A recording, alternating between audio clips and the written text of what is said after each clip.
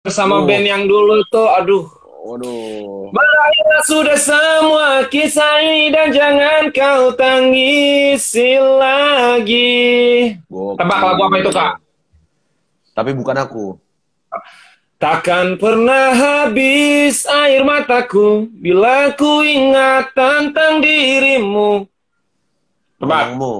Woi, boleh.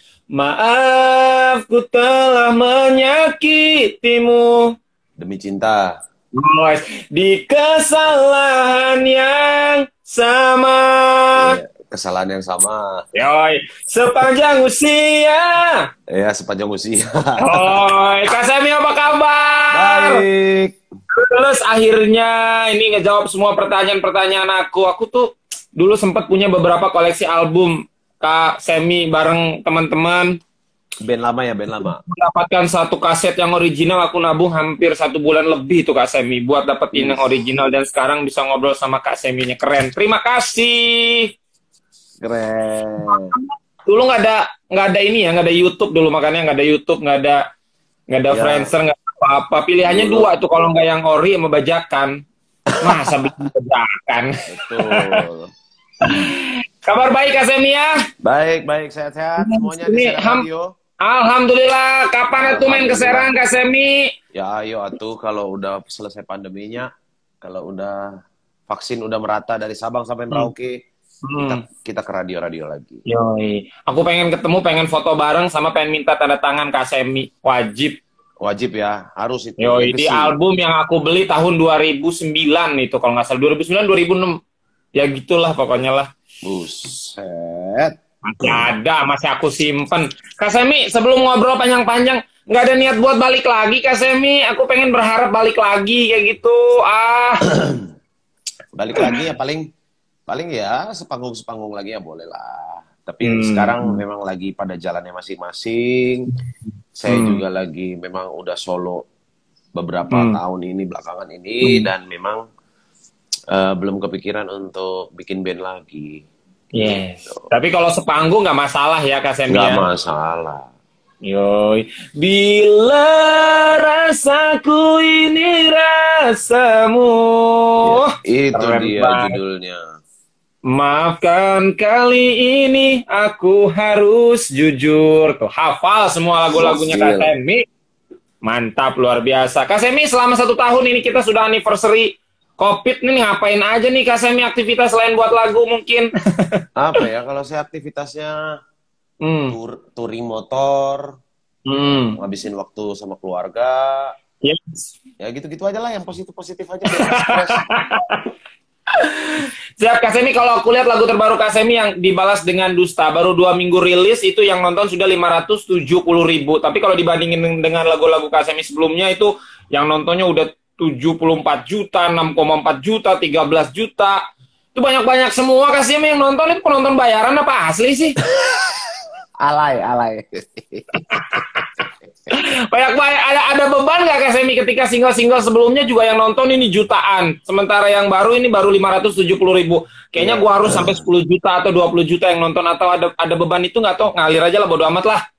Ya apa ya, nggak ada beban sih. Yang penting kita sebagai musisi delivery musiknya, delivery lagunya, yang menurut kita udah proporsional, udah proper, ya lempar aja ke masyarakat nanti masyarakat yang nikmatin. Udah bukan bukan tergantung viewernya berapa, saya nggak pernah ngitungin viewersnya berapa. Yang penting, Bodo amat. Yang penting lagu lagunya kan sedih. Eh, Hmm. gimana caranya yang bahagia pun bisa merasakan hal yang sama kalau denger lagu dibalas dengan dusta. Yoi, respect. Kak Semi di rumah yang sekarang betah nggak sih? Kok pindah-pindah rumah terus sih? Betah tuh. Bukan rumah yang ini maksudnya, rumah yang sekarang di Oh. Pro M. Kemarin rumahnya beda tuh waktu single yang itu. Sekarang Ya. rumahnya di sini. Kok pindah-pindah gimana nih Kak Semi? Nggak, pin- nggak pindah-pindah sih. Yang kemarin kan Hmm. memang lagi lagi solo karir, lagi lagi Mm-mm. lagi sendiri. Terus Mm-mm. eh, ya kalau ada tawaran yang lebih menyenangkan dari Pro M, kenapa enggak gitu? Yoi. Siap. Jalan terus ya Kak Semi ya. Amin. Kak Semi kalau aku lihat karir Kak Semi kan nggak mudah buat sampai di titik ini perlu perjuangan dan lain sebagainya dan hampir sekarang Ya. banyak teman-teman eh, mungkin penikmat musik di Indonesia sudah tahu siapa eh, seorang Semi Simorangkir. Tapi ada nggak sih Kak Semi sampai dengan 2021 satu mimpi lah yang yang belum tercapai nih sama Kak Semi nih apa gitu misalkan di di musik deh Apa ya? ada nggak sih apa semuanya udah karena juta-juta semua nih keren-keren semua nih karya-karyanya Eh, keinginan yang belum tercapai itu lagi di jalan sekarang sih sebenarnya. Gimana caranya saya sebagai penyanyi, sebagai musisi bisa terus eksis di hingar-bingarnya artis-artis baru, pendatang-pendatang baru yang keren-keren, yang hebat-hebat. Hmm. Tapi gimana caranya saya bis- bisa tetap eksis di telinga masyarakat Indonesia? Itu aja Yoi, salah satunya terus terusan buat single kayak Harus, harus. Karena itu Gaspol. karena karena kan musisi itu kayak pelukis mas kalau Hmm. pelukis itu kan nggak bisa dikasih buku gambar A3 Hmm. nggak bisa dia butuh kanvas nah sama musisi juga gitu ngeluarin karya tuh nggak bisa cuman nyanyi nyanyi di kamar cuman nyanyi nyanyi di acara keluarga enggak dia harus ngeluarin karya juga gitu Yoi, respect, mantap, luar biasa Kak Semi terus berkarya, berkarya dan berkarya, mantap Amin. luar biasa Kak Semi. Ya. Artinya kan masih banyak tuh mimpi-mimpi yang yang yang belum belum belum istilahnya tercapai gitu dan semoga di tahun ini adalah kita semua bebas dari corona dan kita bisa manggung lagi, bisa berkarya lagi. Hmm. Kalau aku lihat kan Kak Semi hampir semua lagu ya mayoritas kan identik dengan kesedihan.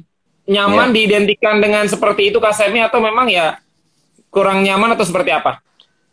nyaman-nyaman aja sih walaupun walaupun mungkin nanti kan eh, di satu album tuh bukan cuma lagu sedih aja lagu bahagia juga Hmm. ada cuman memang tidak tidak menjadi jagoan Hmm. menjadi single gitu lagu-lagu Hmm. bahagianya tapi ya it's okay lah kalau dibilang Hmm. semi semi nyanyinya lagu-lagu yang apa yang melo-melo nggak nggak ada masalah Hmm.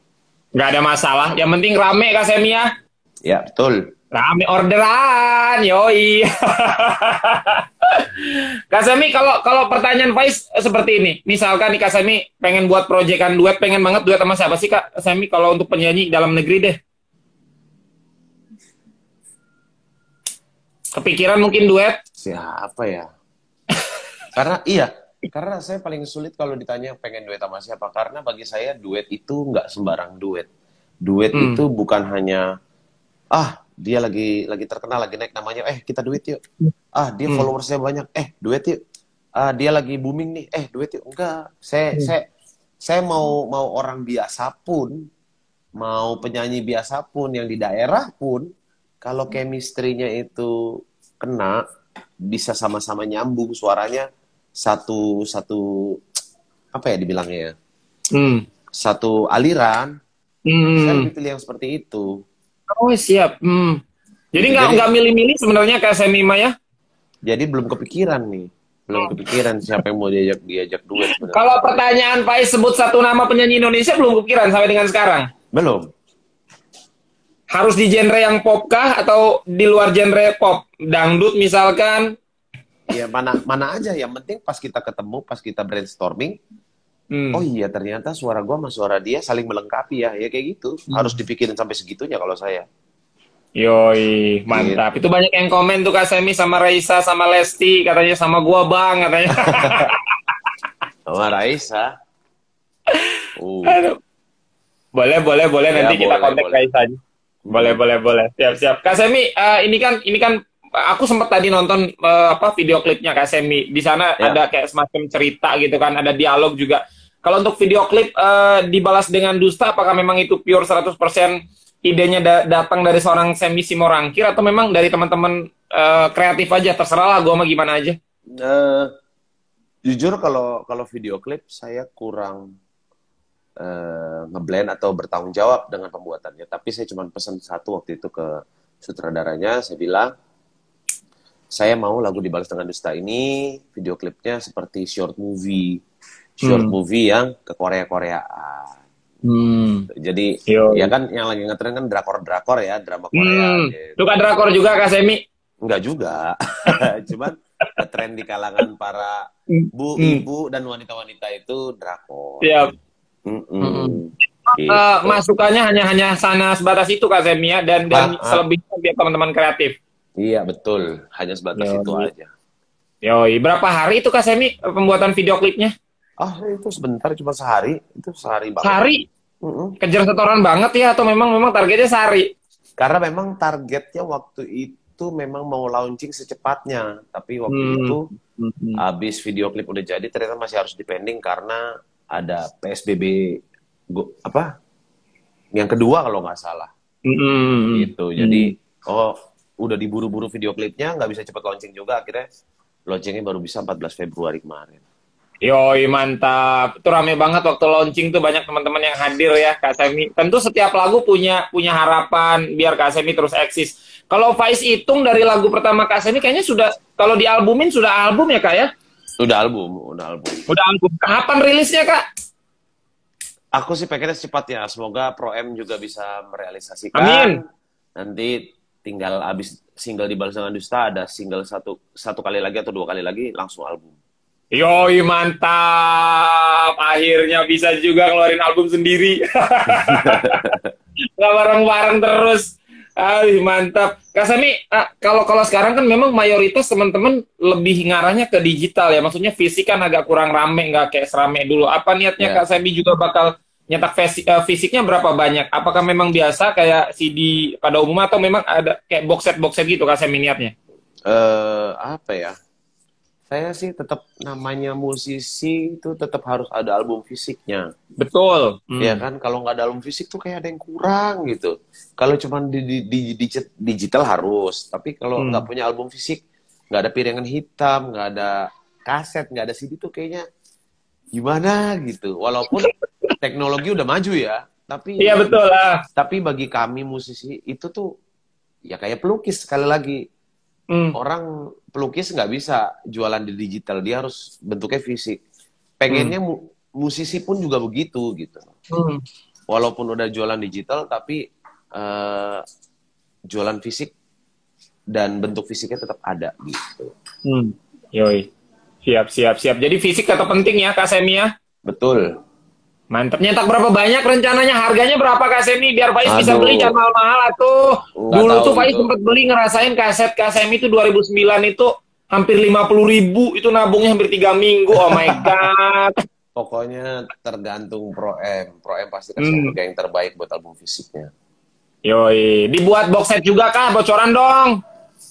Nah itu tuh belum tahu. Itu hmm. kerjaan rumahnya Pro M. Hmm, spesial misalkan nyetak 100, nggak usah banyak-banyak ya, untuk rencananya sih seperti itu, kayak ada boxnya gitu, terus ada cindera hmm. matanya, ada kaosnya, hmm. ada kasetnya, ada CD-nya ya. gitu. Untuk fans garis keras semi simorangkir yes. kayak Faiz yang di Serang. Yoi, mantap. Mantap. Kata ini uh, tentu dari dari perjalanan karir Kak Semi dari awal sampai dengan saat ini banyak orang-orang yang selalu support, ayo Semi semangat terus berkarya dan dan terus berkarya. Ada nggak sih Kak Semi sampai dengan saat ini nih terutama nih kalau Faiz mah punya haters ya. Apaan Sampai. sih Semi? Uh, apaan sih Semi? Apa uh, lagunya sedih-sedih mulu? Nggak bisa apa buat lagu yang uh, rada bahagia? Yeah, Hater yeah, apaan yeah. Wah. ya, ya kayak kayak gitu sebenarnya ya penyemangat kita ya. Mm. Dan, dan saya juga punya teman-teman adik-adikku di Savers Indonesia mm. yang sampai saat ini masih ngedukung karir saya. Wah itu luar biasa banget. Jadi mm. jadi pecutan semangat untuk saya melahirkan karya-karya lagi gitu. Yoi, terus semangat bodo amat kalau haters mah ya kak ya. Haters ditinggalin aja nggak apa-apa. Yoi, berarti nggak sampai ke hati ya kalau haters komen-komen ya kak ya. Bodo Nggak amat ya. Ngapain sampai ke hati? Baru sampai Instagram aja kita blok. Yoi. Kak Zemi ini kan baru banget nih, baru banget nih rilis. Uh, berarti kalau aku lihat kan hampir tiga atau empat bulan kan Kak Semi selalu konsisten tuh maksudnya ngeluarin single lagi single lagi berarti nanti yeah. kemungkinan single single terakhir itu untuk album itu di bulan Juli kemungkinan ya atau habis Lebaran lah ya yeah, album yeah, lah yeah, yeah. Lebaran 2021 yeah, yeah. ya ya kayaknya single kedua single kedua tuh atau single ketiga mungkin Lebaran kali ya hmm. pas Lebaran gitu ya yes, pokoknya ya. tahun semoga sebelum tahun ini selesai albumnya udah keluar. Saya sih pengen Yo, gitu. amin. Sebelum tahun 2021 selesai, album Semi Semorangkir keluar. Nama-nama udah kepikiran nama? Belum, belum. Atau ada usul dari Faiz? Apa? Usul apa? Uh, uh, tahun terpedih. Wih, di. Enggak sekalian dicantumin CEO-nya apa, bintangnya apa. Aduh, tahun terpedih di saat harus bersama-sama. Wih, mantap. Kak Semi, aku pengen denger dong. Aku tuh suka banget sama lagu Demi Cinta, Kak Semi. Aduh, yeah. kecanduan banget. Refnya aja, Kak Semi. Ini banyak juga yang request nih. Apa Boleh ya? Demi, demi Cinta gimana ya refnya? Ayo. Eh, gimana ya? Ayo. Maaf, ku telah menyakitimu. Ku telah kecewakanmu. Itu kan verse-nya.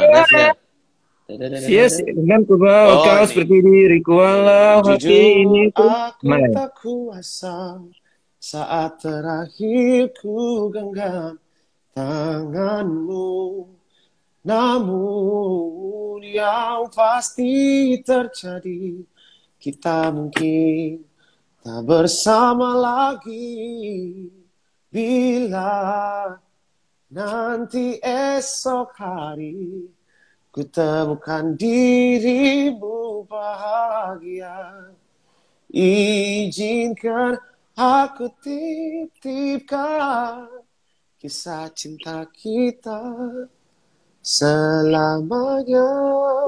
Yeah! Akhirnya dinyanyikan langsung oleh seorang semi Simorangkir. Gokil, yes. mantap. Ini pengalaman pertama nih dalam hidup nih Kak Semi nih. Dinyanyiin amin, langsung amin. sama Kak Semi Simorangkir. Terima kasih banyak Kak Semi sudah mau uh, Faiz kepo-kepoin. Semuanya semoga lancar semuanya. Karirnya amin. melesat amin. bagaikan roket ya. Terima Dan kasih. semoga bisa main ke Serang Radio. Wajib banget kalau main ke Serang, ke Serang Radio. Terakhir mungkin salam buat teman-teman yang ada di Serang, Kak Semi. Salam buat semua teman-teman di Serang. Jangan lupa request terus dibalas dengan Dusta di Serang Radio 898. Dan terus bisa di-download di digital platform, di Spotify, Joox, apa pun uh, digital platform kesayangan Anda. RBT-nya juga bisa di-download, Telkomsel, Pro, Pro semuanya. Uh, video klip juga sudah ada. Dan untuk semuanya pendengar, savers di mana pun kalian berada, sehat selalu. Yoi, dibalas dengan dusta terakhir. Jangan sampai ketinggalan. Aku sampai lupa loh. Oh my God. Ayo silakan Kak Semi. Ntar dulu. Jadi lupa kan. Menyakitkan bila cintaku dibalas dengan dusta namun mencintamu takkan ku sesali. Karena aku yang memilihmu Wah, mantul. Mantul. Keren. Kak Semi, thank you. Sehat selalu. Thank Assalamualaikum. You. Nah, baik itu dia teman-teman. Terima kasih banyak yang sudah menyaksikan live Vice bersama Kak Semi Simorangkir ya. Buat teman-teman, sehat selalu, bahagia selalu, dan eh, tonton sebanyak-banyaknya video klip Kak Semi Simorangkir dibalas dengan dusta. Juga teman-teman bisa request banyak-banyaknya di Serang Radio. Thank you. Assalamualaikum.